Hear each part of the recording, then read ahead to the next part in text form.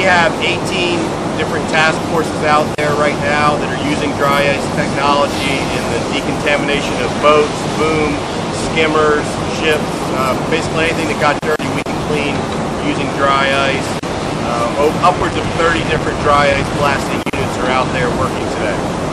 In early May we approached BP with this idea for the, using this technology on the oil spill.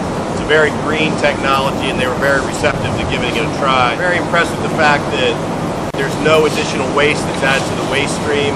Uh, you're not creating more additional waste than cleaning up the original spill. So they're very they're very pleased with that.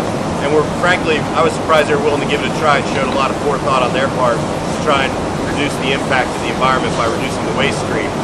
Uh, this is the largest dry ice blasting project since dry ice has been around in the past 20 years, technology. Uh, it's been very well received by the owners of the vessels, by the Coast Guard, by BP, and by the EPA.